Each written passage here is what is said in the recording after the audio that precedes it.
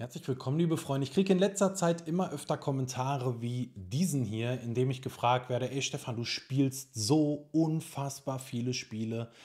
Wie schaffst du es, so viele Spiele in so wenig Zeit zu spielen? Denn du bist doch Vater, du dürftest doch eigentlich gar nicht genug Zeit haben für genau all diese Spiele. Und da möchte ich gerne heute mit euch drüber reden, möchte euch ein, zwei Erklärungen geben, möchte vielleicht auch ein, zwei Mythen aufklären. Und ganz wichtig, ich habe auch einen ganz, ganz wichtigen Rat für euch den kriegt ihr am Ende. Die Leute, die mich noch nicht kennen, ja, ich bin Vater, ich habe drei wundervolle Kinder, ich habe eine Familie, ich habe nicht viel Zeit am Tag zu zocken. Deswegen habe ich euch ja schon mehrfach gesagt, ist das Steam Deck für mich eigentlich der perfekte Begleiter, da ich ein Spiel im Sleep-Modus starten kann, direkt wieder in Sleep gehen kann und deswegen auch 5 Minuten oder 10 Minuten Sessions zwischendurch einbauen kann. Aber, ja, ihr habt absolut recht, die Zeit, die ich am Tag mit Gaming verbringe, die ist natürlich limitiert. Lasst es eine Stunde sein, lasst es vielleicht anderthalb Stunden sein, aber mehr habe ich in der Regel nicht Zeit am Tag. Das ist meine maximale Zeit. Und ja, ich stelle euch auf meinem Kanal sehr, sehr viele neue Spiele vor. Ihr wisst, hauptsächlich stelle ich neue Spiele vor. Hin und wieder mache ich ein Let's Play.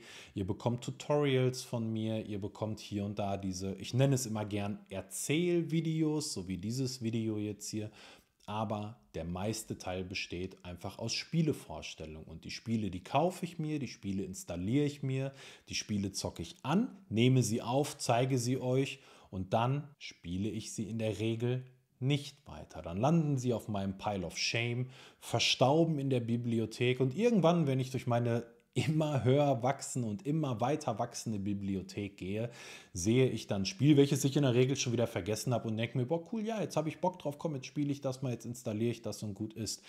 Aber in aller Regel werden die Spiele, die ich kaufe und hier anspiele, nicht weitergespielt.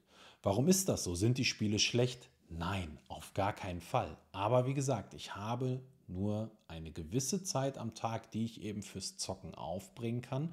Und wenn ich nun fast jeden Tag ein neues Spiel vorstelle und dieses Spiel dann auch weiterspielen möchte, dann habe ich, lasst es in der Woche fünf neue Spiele sein. Und wenn ich jedes Spiel eine halbe Stunde am Tag spielen möchte, bin ich schon auf einmal bei zweieinhalb Stunden.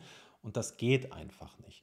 Jetzt könnte man natürlich sagen, okay, dann lass es doch einfach sein, kauf dir die Dinger doch gar nicht und stell uns die gar nicht vor. Könnte ich machen, aber dann geht halt einfach ein großer Teil von diesem Kanal flöten. Denn ich muss sagen, wenn ich, oder das habe ich in der Vergangenheit gemacht, wenn ich ein Spiel gesehen habe, welches ich sehr interessant fand, dann habe ich bei YouTube geschaut, ob es ja, ob irgendjemand dieses Spiel angespielt hat. Denn nur dann kann ich für mich entscheiden, gefällt mir der Flow von diesem Spiel. Glaube ich, dass ich daran Spaß habe.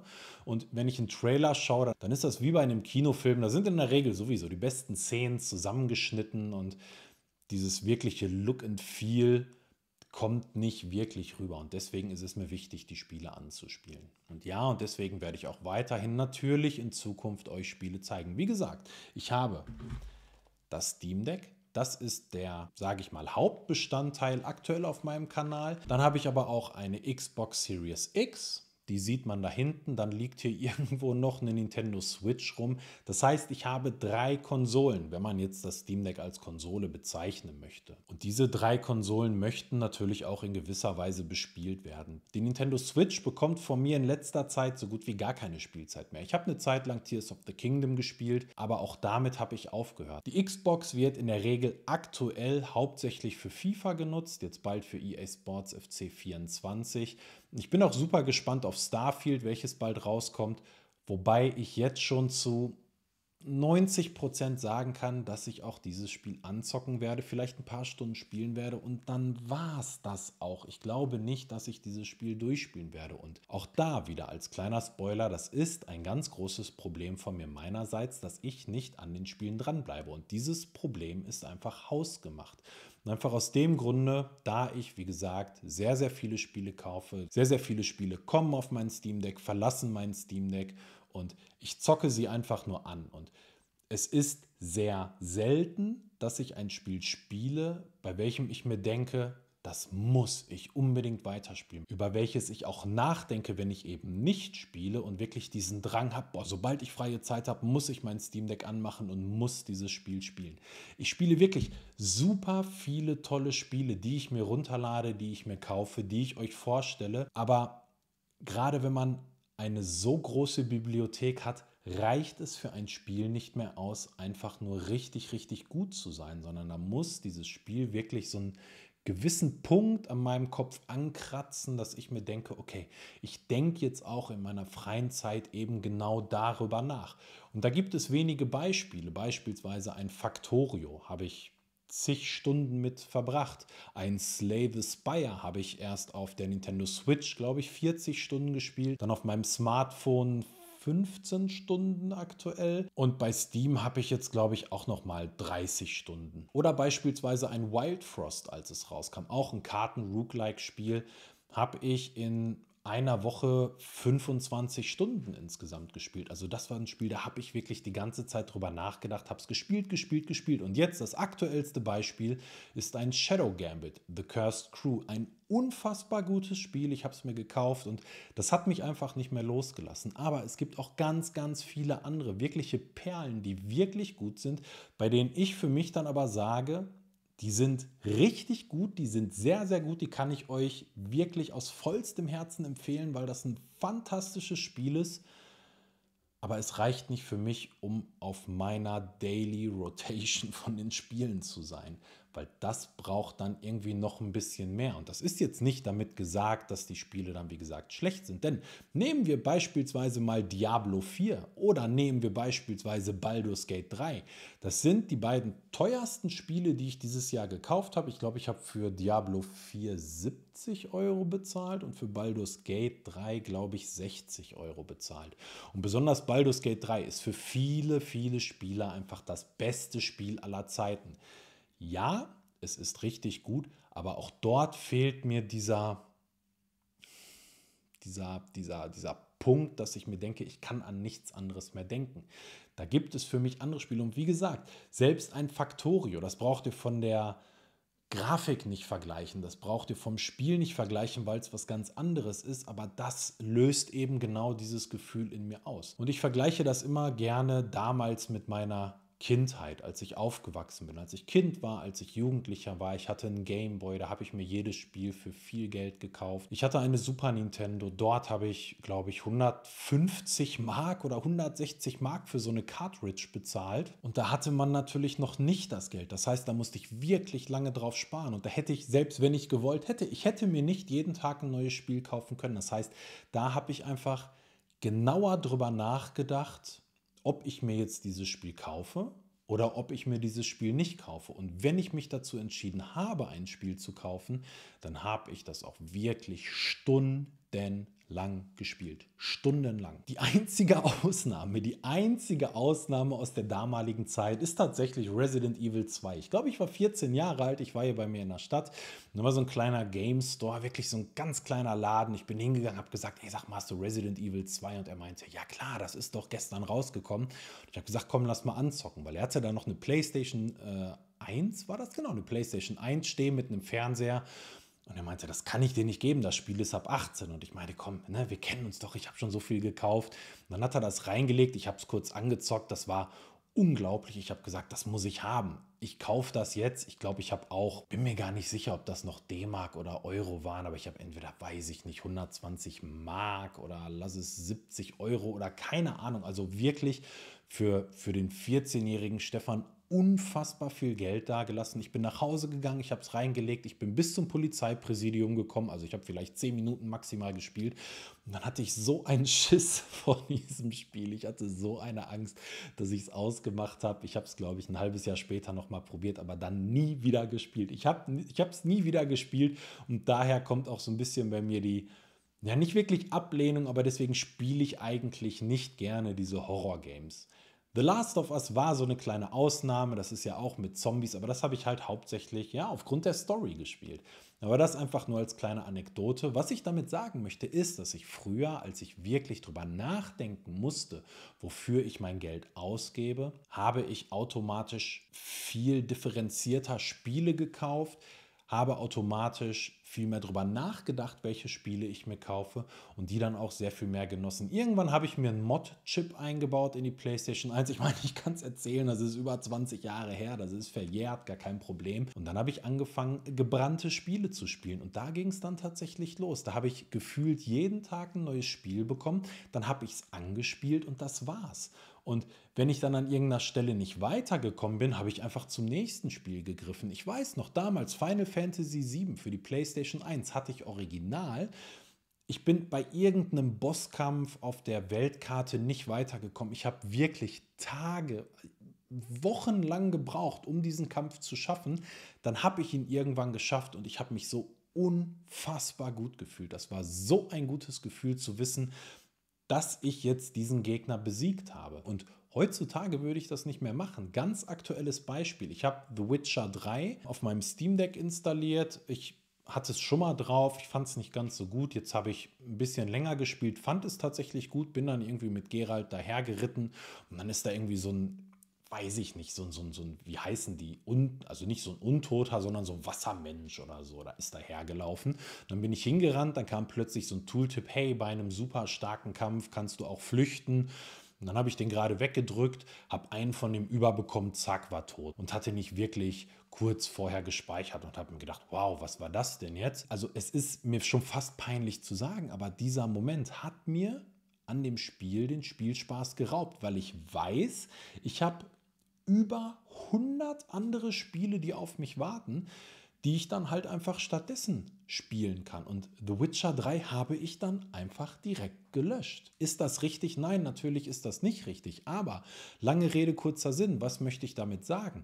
Dadurch, dass man sich mehr Spiele holt und auch einfach gar nicht mehr darüber nachdenkt, welche Spiele man sich wann holt, sondern sich denkt, ey cool, da ist jetzt ein Spiel für 3,99 im Sale, das kaufe ich mir einfach sofort. Ja, dann kauft man es sich, aber dadurch wächst natürlich die Bibliothek automatisch an.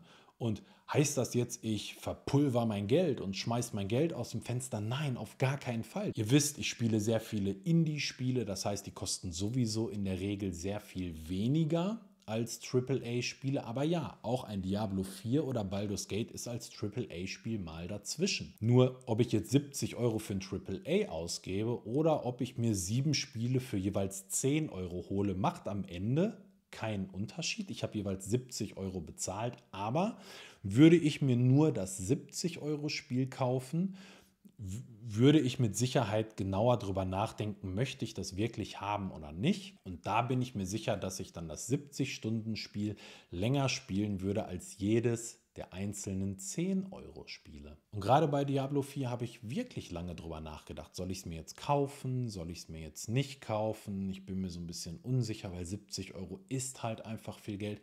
Aber ich habe es mir am Ende gekauft. Und trotzdem habe ich es nicht lange gespielt. Ich werde es definitiv nachholen, weil ich weiß, es ist ein tolles Spiel. Aber auch da hatte ich eine Situation, dass ich nachts spielen wollte. Dann hatten die Server von Blizzard Probleme. Dann stand dort, ich muss 1000 Minuten warten, bis ich mich einloggen kann und es ging halt einfach nicht weiter. Und da habe ich mir auch gedacht, okay, eigentlich für mich, ich weiß, ja, Diablo 4 ist nicht wirklich ein Singleplayer-Spiel, aber für mich ist es ein Singleplayer-Spiel, weil ich es gerne alleine spielen möchte. Und dann darauf angewiesen zu sein, dass die Blizzard-Server laufen, hat mich in dem Moment wirklich gestört und deswegen habe ich mir einfach ein anderes Spiel installiert. Und was ich mir wünsche, was ich mir wirklich wünsche, immer wenn ich weiß, dass ein tolles neues Spiel rauskommt, dann wünsche ich mir, dass ich das Spiel installiere und dass ich dann automatisch dieses vorhin angesprochene Gefühl habe, dass ich mir denke, ja, ich muss jetzt dieses Spiel unbedingt weiterspielen.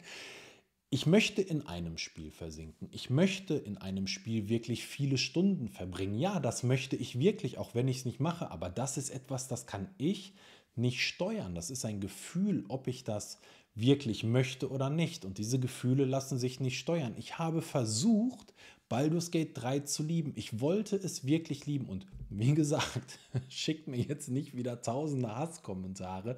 Baldur's Gate 3 ist ein Meisterwerk, keine Frage, aber für mich persönlich ist Baldur's Gate 3 zu groß und deswegen habe ich euch auch gesagt, dass für mich Disco Elysium das bessere RPG ist. Und auch da haben Leute drunter geschrieben, ey, das ist doch Satire, das kann doch nicht wirklich wahr sein. Doch für mich als Spielertyp ist das natürlich so, denn nicht jeder ist gleich. Und Ich bin mir auch sehr sicher, hätte ich diesen Kanal nicht und hätte ich nicht diese vielen Spiele installiert und hätte ich generell eine viel kleinere Bibliothek, als ich sie jetzt habe, wäre die Chance größer gewesen, in Baldur's Gate 3 zu versinken. Heißt das, ich werde jetzt in Zukunft nie in Baldur's Gate 3 versinken? Nein, das heißt es natürlich nicht, denn vielleicht habe ich irgendwann mehr Zeit zum Zocken, aber aktuell habe ich es nicht und ich weiß, ich kann diese Zeit nicht aufbringen. Was möchte ich euch nun damit sagen? Sollt ihr meine Videos mit den Spielevorstellungen gucken? Bitte unbedingt, ich mache es für euch. Ich mache es, wie gesagt, nicht für mich, denn dass wirklich eine Perle dabei ist, die ich unbedingt spielen muss, das ist eher selten. Wie gesagt, großartige, fantastische Spiele, die ich unter anderen Voraussetzungen mit Sicherheit spielen würde, aber unter den bei mir gegebenen Voraussetzungen eben nicht. Und die landen dann auf dem Pile of Shame. Also, ihr sollt natürlich meine Videos gucken und ihr sollt natürlich auch die Spiele auf die Wishlist packen. Aber ich möchte euch bitten, Kauft euch nicht jedes Spiel, welches ihr bei mir seht. Ich bekomme sowieso keine Provision dafür, aber selbst wenn ich Provision bekäme, würde ich euch aus tiefem Herzen sagen, kauft nicht jedes Spiel, welches ihr bei mir seht, denn dann wird eure Bibliothek genauso aufgebläht, genauso groß wie meine und es ist mit Sicherheit nicht jeder vom Spieltyp so wie ich. Vielleicht habt ihr mehr Zeit, ihr könnt vielleicht mehr Spiele am Tag spielen und ihr könnt das vielleicht besser organisieren und ihr habt euch da vielleicht besser, ja, ich sag mal, besser im Griff, dass ihr sagen könnt, okay, ich, wenn ich mir ein Spiel kaufe, dann spiele ich es auch wirklich. Aber ich kann das nicht sagen. Meine Spiele landen leider, und da ist wirklich ein ganz, ganz großes Leider, landen leider auf dem Pile of Shame. Von daher kauft euch bitte nicht jedes Spiel, welches ihr bei mir seht. Packt es euch auf die Wunschliste, damit ihr es nicht vergesst. Ihr dürft natürlich auch eure Wunschliste dann nicht vergessen. Ähm, wartet ein Sale ab und schlagt zu, wenn ihr es dann irgendwann haben möchtet. Aber wenn ihr meine Videos guckt, vielleicht seht ihr dann auch einfach, dass hier und da auch für euch passende Perlen dabei sind. Um jetzt auf die Ausgangsfrage zurückzukommen, wie spiele ich all die vielen Spiele in all der wenigen Zeit, die ich habe? Wie gesagt, gar nicht. Ich stelle euch viel vor, ich spiele viel an, aber dieses wirkliche Spielen, das mache ich nur mit einer kleinen ausgewählten Zahl von Spielen. Freunde, mich würde wirklich, wirklich, wirklich interessieren, wie ihr zu dem Thema steht. Weil, wie gesagt, das ist jetzt meine persönliche Meinung. Es kann sein, dass ihr da komplett anders drüber denkt. Es kann sein, dass ihr sagt, ja, egal, ich will haben, haben, haben, besser haben als brauchen und ich habe sowieso acht Stunden Zeit am Tag zu spielen. Wie handhabt ihr das? Wie viele Spiele kauft ihr euch gefühlt im Monat? Wie viel Geld gebt ihr im Monat für die Spiele aus und wie handhabt ihr dann? Spielt ihr auch wirklich jedes Spiel an oder sagt ihr auch erstmal Hauptsache haben, kommt auf ein Pile of Shame und fertig? Aber wie gesagt, liebe Freunde, lasst mich eure Meinung dazu wissen. Auch wenn ihr noch weitere Fragen habt, stellt mir eure Fragen. Ich beantworte euch gerne jegliche Frage im Kommentar.